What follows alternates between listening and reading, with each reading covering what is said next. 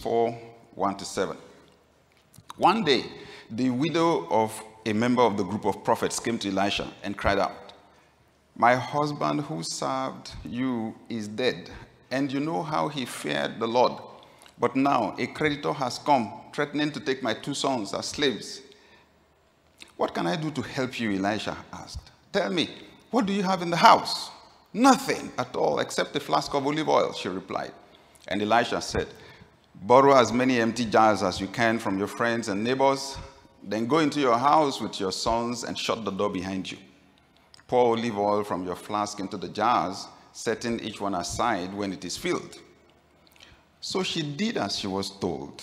Her sons kept bringing jars to her, and she filled one after another. Soon every container was full to the brim. Bring me another jar. She said to one of her sons, There aren't any more, he told her and then the olive oil stopped flowing. Then she told the man of God what had happened. He said to her, Now sell the oil, sell the olive oil, and pay your debts, and you and your sons can live on what is left over. So, presently in Nigeria and in many nations of the world, things are rough, things are tough. And this story that we just read reminds me of that reality. However, however, the Spirit of God tells me that just like we had in this story, there will be miracles. This month. Miracles of restoration, resurrection, resurgence. This woman was drowning in debt. Her, her husband had died. And then not only did she lose her husband, she was about to lose her two sons because the creditors were about to take the two sons away. But God launched her out. Somebody is launching out of debt in the name of Jesus Christ. What was meant to be the worst of times has become the best of times for someone financially. And if you're the one I'm talking about, you can say a good amen.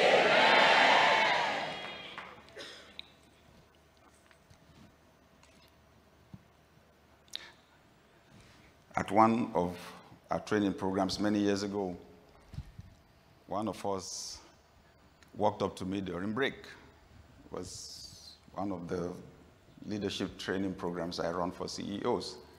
He approached me during the break and he was holding a copy of my book. Sorry, is it my book? No, his book, because he had paid for it. Whose book was it? Okay. Start with what you have.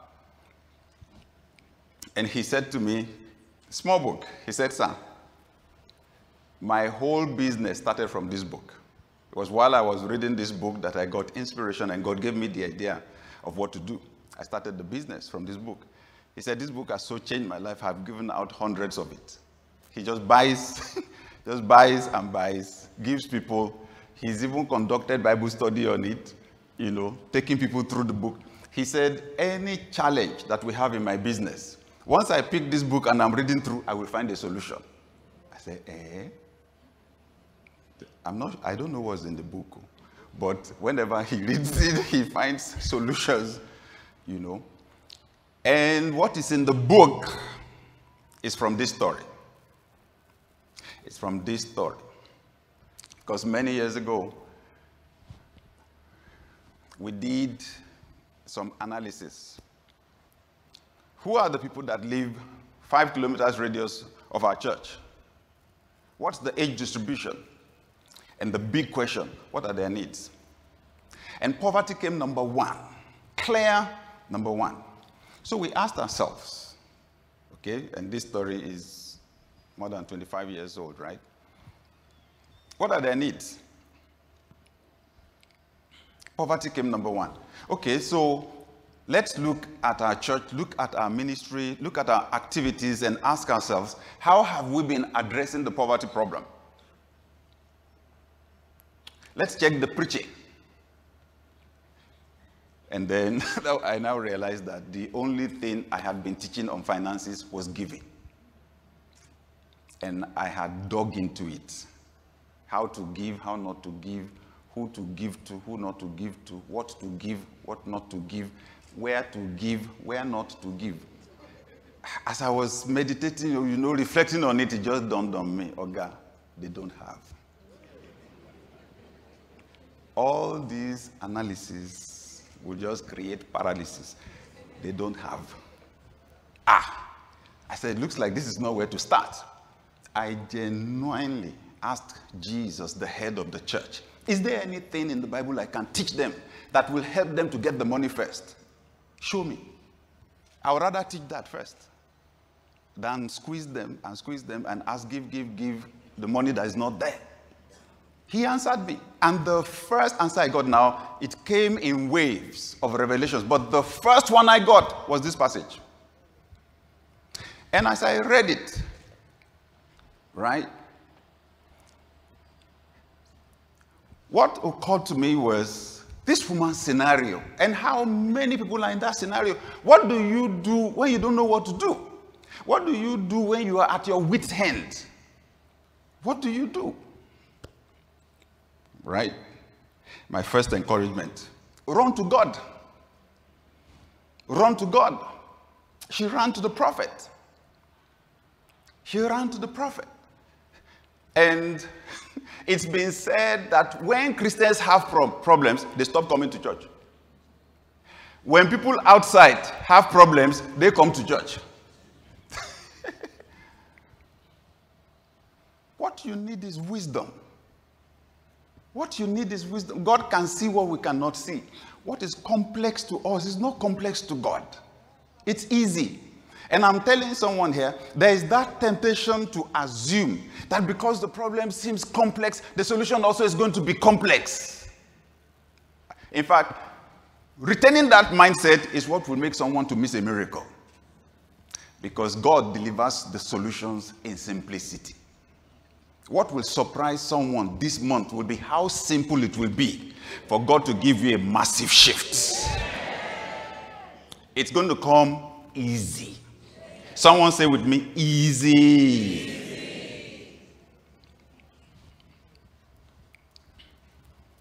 Run to God because, not because God prints currencies in heaven and they will throw money down at you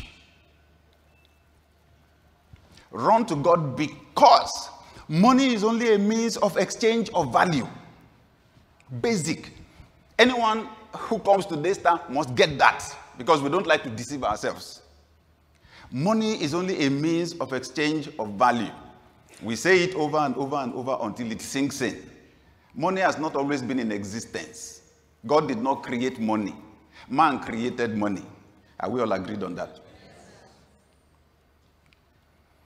Because there was a time when money was not in existence.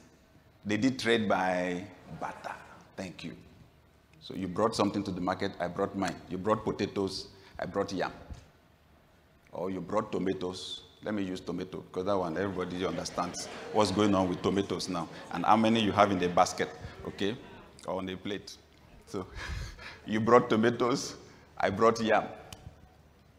We determine their relative values, the difficulty of producing them, right? and we exchange them. That's how they did transactions. Simple, easy. Or you helped me to build my house, I gave you two bars of yam. 100.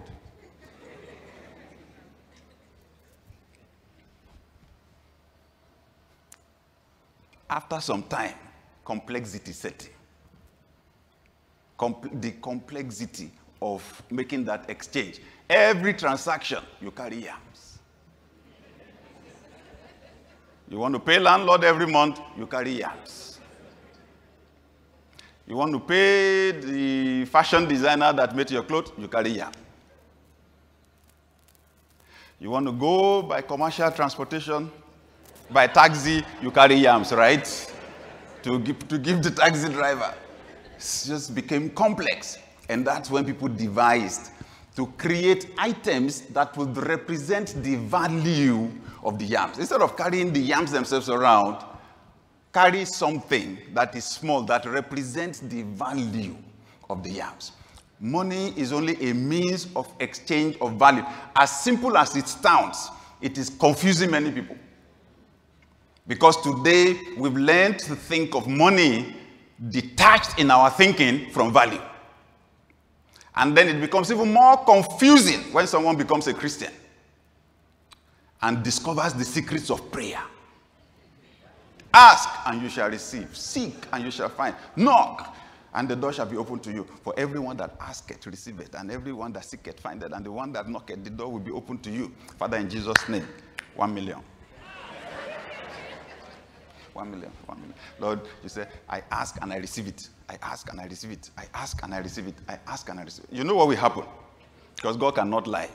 You will receive the one million in the spirit. Spiritual money.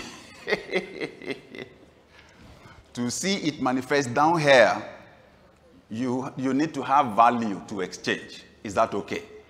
The beautiful thing for us who believe in God is the fact that God is the creator of value. He creates it. God is the one that gives value to everyone and everything that is in existence. If you say gold has value, God gave it that value. If crude oil has value, it was God that gave it that value. If you have value, it is God that gave you that value. That's why you should run to Him. If, or, not if, since money is a mix of exchange of value, God gives you that value.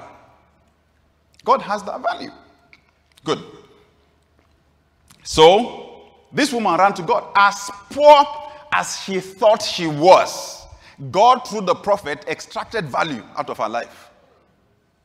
She ended up with value ready to exchange. Am I right? That's why the story ended. Am I right? She ended up with something to sell. Amen. I know some people don't like this now, they are not enjoying it. Because the testimony we like is hmm, if you know what happened. Someone just called me on the phone. Just, call, oh, just one call and said, I'm giving you 10 million. You see the way you shouted? That's the one we like, right? It's human nature. We like vanity. Human nature loves vanity for doing nothing. I did not do anything. Oh. If you ask, if you ask me now, I can't even tell you how God did it. Hey, eh, you don't have anything to sell. You don't have any skill. You don't have any value to add. You are not useful to anybody. And God just gave you like that. So come to this time. We don't think like that. Mm-hmm. But remember, she ran to God. Somebody here needs to camp with God. Amen. Amen. You need to pray, you need to focus on God. The first thing God will do is that He will uncover your value. That's the starting point. God will uncover your value. The first thing he will make you realize is you are not as poor as you think you are. You are not as broke as you think you are. God is the creator of value and he's the giver of value. First thing he will do, uncover your own value. You have value. If you knew who you were, you would not worry, worry for one second. So let me read what Christ said. And the Holy Spirit specifically told me this that this month someone will kill worry. Especially over what money matters. The major part of our stress is money, or what money should do, right? Good. And when you go by Pareto's principle, once your basic needs are met, you know, food and other things, uh, then you can now worry about level three needs uh, love and belonging. That's when you now notice the person that is not greeting you when you come to the service. Hey, person that not greet you well. Hey, this person does not love me. But eh, who cares about love when you have not eaten? Hey. Matthew 6, 26 to 34. Matthew 6, 26 to 34, New Living Translation. Christ himself speaking. Look at the birds. They don't plant or harvest or store food in barns, for your heavenly Father feeds them. And aren't you far more valuable to Him than they are? Can all your worries add a single moment to your life? And why worry about your clothing? Look at the lilies of the field and how they grow. They don't work or make their clothing. Yet Solomon in all his glory was not addressed, as dressed as beautifully as they are. And if God cares so wonderfully for wildflowers that are here today and thrown into the fire tomorrow, He will certainly care for you. Why do you have so little faith? So don't worry about these things, saying, well, What will we eat? What will we drink? What will we wear? These things dominate the thoughts of unbelievers. But your heavenly Father already knows all your needs. Seek the kingdom of God above all else and live righteously, and He will give you everything you need. So don't worry about tomorrow, for tomorrow will bring its own worries. Today's trouble is enough for today. So I bring God's word to someone kill worry. Worry never solves any problem, it creates new ones. Kill worry. You are part of a system. Seek first the kingdom of God, the government of God. In the government of God, people don't go without food. We try in Daystar to align with the biblical model of church as best we can.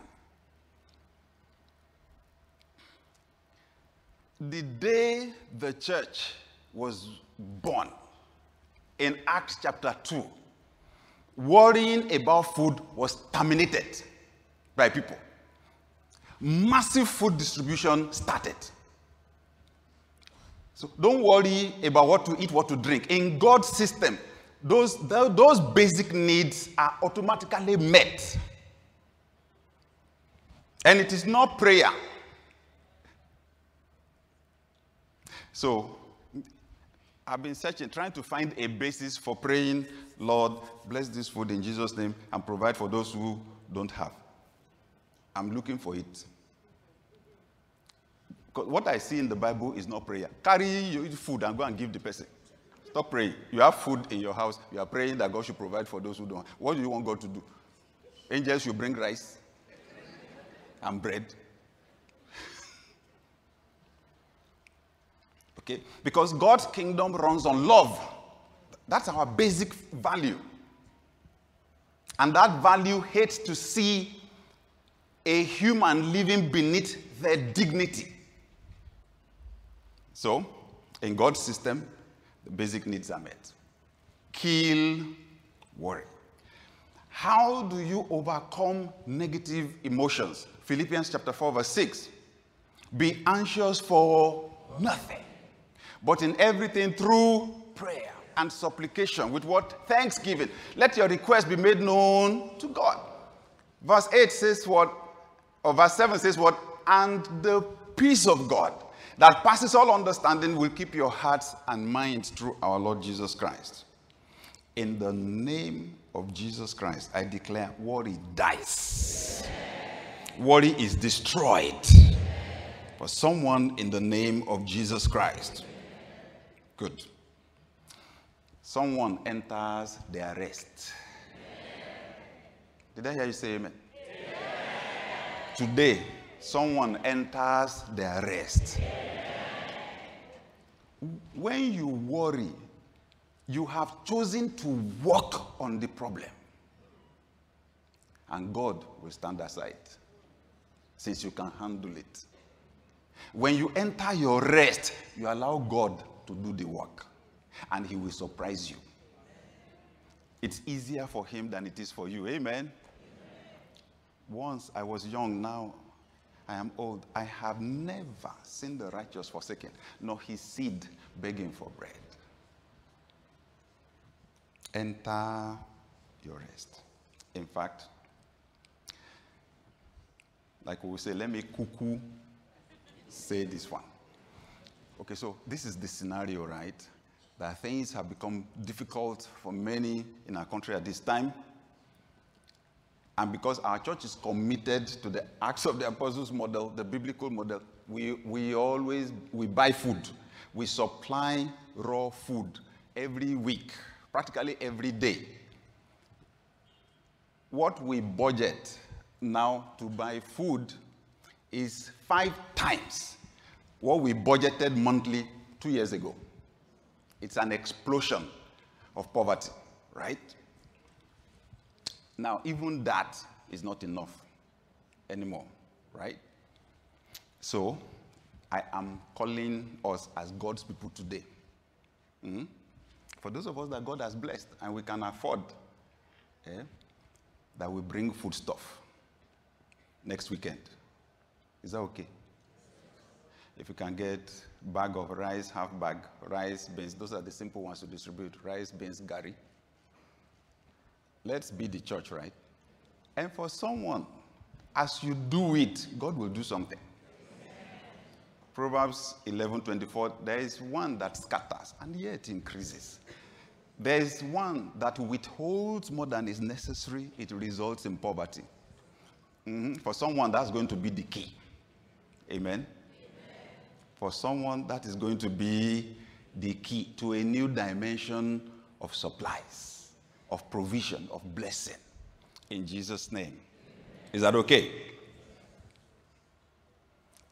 So, the second part that we would pray about God will uncover the value of what you have. God will uncover the value of what you have that is useful for someone, that will make them give you money in exchange.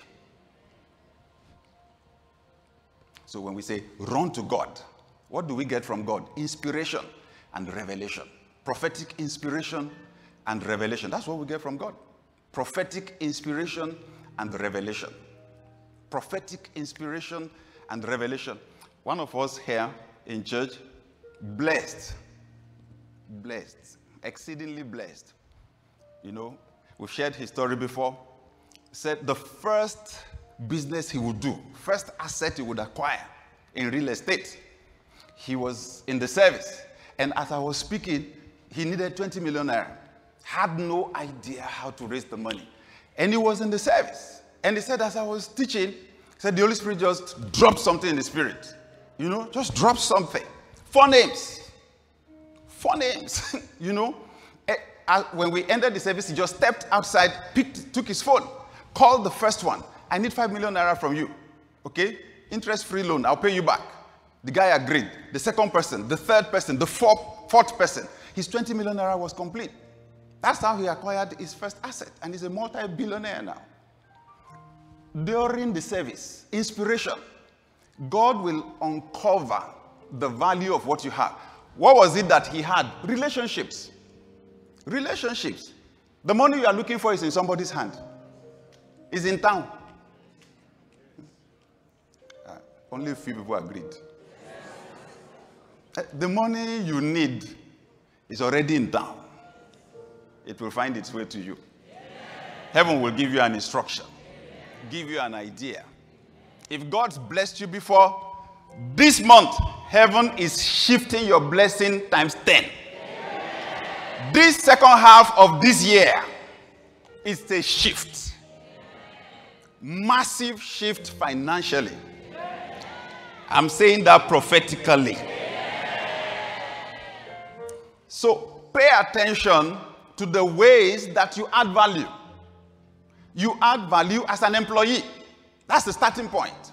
Add value by helping other people to execute their ideas. That's the starting point. You've got to have skills. You've got to have knowledge. You've got to be able to do something. As much as Joseph was a slave, when he found himself in Potiphar's house, he had some skills to add. You've got to be able to do something. You cannot, as a Christian, walk around without having any value to add. Serve as an apprentice to someone, go to school, attend a course, do something. But you've got to add value to add. And at the lowest level, you help other people to execute their ideas. At the next level of value, you are a manager. In other words, you can supervise five people, 10 people, 50 people. I promise you, that's a higher level of value. When they give you goals, they give you the goals that 20 people will achieve, that 50 people will achieve. Many people don't know that that's the thing that is stopping them. They don't pay attention. When we talk about leadership, they don't pay attention. They won't read the book. And you find that they will only give you goals that only one person can achieve until you show that you have that skill. So it's not only enough to have technical skills, you got to have people skills. So some people hit a particular level, they hit a bar, they lose a job. Get another one, hit a bar, lose the job because of poor people skills, right? And you know us, if the person is from Africa, after losing three jobs, the person will conclude that it is because of village people. It's lack of people skills. At the next level of value, you're a manager. At a higher level, you're a leader. At a higher level, and one of the major skills a leader must have is the ability to sell ideas, to motivate people to come with you to achieve goals. That's taking your people's skills to a higher level. And you've got to be a communicator. You've got to be a communicator. When you want to place people in life, their levels, listen to their vocabulary. What makes you an expert in any field is vocabulary. What makes you an expert lawyer is vocabulary. Am I right?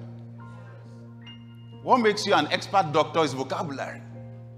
Right? Doctor and doctor. it's vocabulary. What makes a doctor a doctor is not vocabulary. By the time they call the name of the sickness, any amount they ask you to go and bring, you go and bring it if you don't want to die.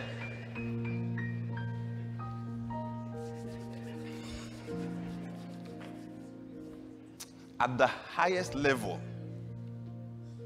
at the highest level of value, you are a creator.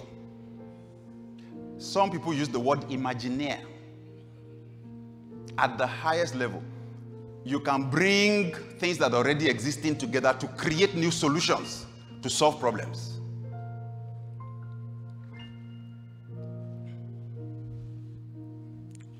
The prophet said, Woman, what do you want me to do for you? Then he followed quickly with the second question Tell me, what do you have in the house? She said, Your handmaid has nothing. That's the first thing she said. And she said, she said Except a small jar of oil. Say, That's what I'm asking for. That's all I'm asking for. That's all God is asking for. There is something. And the Holy Spirit told me. And I came and told the church then the Holy Spirit said, I should tell you, He will never allow you to get to the point where there is nothing around you that He can use to move you to the next level of breakthrough. Pray for Him to open your eye to see. There's a skill, there's a qualification, there's a relationship, there's an asset you can sell to raise capital. There's something. You are not as poor as you think. Big crowd, no food. Jesus said, Tell me, guys, what do we have? He said, Ah, only 300 denarii. He said, but 300 denarii worth of bread can't feed anybody. He said, hmm, that's not what I'm asking for. He said, ah, there's a boy here with five loaves of bread and two fish. He said, that's exactly what I'm asking for. Bring them. That's the way God works. So the moment you say, I don't have anything, I don't have anything, you disregard the potential God has put around you, the miracle stops. The potential for a miracle stops. Somebody say with me, I have something that this world needs. I have value to add. This month, I shift to a new level of value addition. If you believe that, say a powerful amen. Say with me, I am a co creator with God. He said, Go and look for empty barrels. Go and look for empty barrels. So the important thing is this you are not the one that determines the value of what you have. It is the people for which it solves problems. It is the person for which it meets a need that actually defines its value. You have malaria tablets to sell. If I don't have malaria, your tablets are useless to me. That's part of what frustrates people in selling. We'll talk about that later. You are chasing people who don't need what you have. But to the person who is about to die of malaria, your malaria tablet is a lifesaver. Am I right? So, whatever that thing is that God gave you, it is a lifesaver for someone. This month, there'll be a connection. I said, This month, there'll be a connection. Joseph had gift for interpreting dreams, right? If I didn't have a dream, your gift is useless to me. But then two people had a dream, fellow prisoners. He interpreted dreams for them. Just one of them made his way to the palace. One day, the king had a dream. Then Joseph's gift was needed. As simple as it sounds a, a foreigner, a slave, a prisoner. But when the whole nation needed what he had, they fished him out. I said, in the name of Jesus, the power of God activates. Activates what God has put inside you that is needed at a high level. Financial problems are solved, resolved, resolved this month. In the name of Jesus, I prophesy on you revelation, inspiration. In the name of Jesus. In Luke chapter 5, Peter and his friends tried to catch fish, they caught nothing. Right? Broke, nothing. Mending their net, nothing. Nothing. They caught nothing. They said, they caught nothing. They caught. When Jesus came, they said, Well, I know you caught nothing. It's fish you were looking for. But your boat has value for the kingdom of God. Can I use your boat to preach? Peter said, Use boat. Christ used the boat. When he finished, he turned to Peter. You put God's kingdom first, right? You loaned God your most valuable business asset. He said, Launch out into the deep, throw your nets for a catch. He threw the, the same place where they tried to fish and caught nothing. Fish rushed in and almost pulled them overboard. For someone, that is the missing link. It is the absence of God in the whole equation. Chasing survivor, chasing survivor, leave survivor. Let God use you to add value to people. Take the attention away from yourself. Self centeredness is not going to work in God's system. It doesn't. This system runs on love. Let God use you. Amen. That's why I made a call for food. Somebody may think it's a simple thing, but I put it in the middle of the message deliberately. It's a prophetic instruction. Amen. Prophetic, and someone will see what happened with the widow that fed Elijah. The food never ran out through the time when things were difficult. I prophesy on you again in the name of Jesus. One, this month, heaven uncovers your value. Secondly, heaven uncovers the value of something you have already. And God will use it to create a new level of abundance for you. In the mighty name of Jesus Christ. I pray for the person that is a part of this service who says, My relationship with God is not okay. Pastor, can we start from there? How can I pray when my relationship with God is not okay? I'm a sinner. I want God to forgive my sins. Can we start from there? Well, every human being was born a sinner. That's where all our problems start as humans. Everyone was born a sinner. So I just want to pray for that honest person who says, I want God to forgive my sins. God sent Jesus to die for us on the cross, okay? God sent Jesus to die for us on the cross. The price has been paid.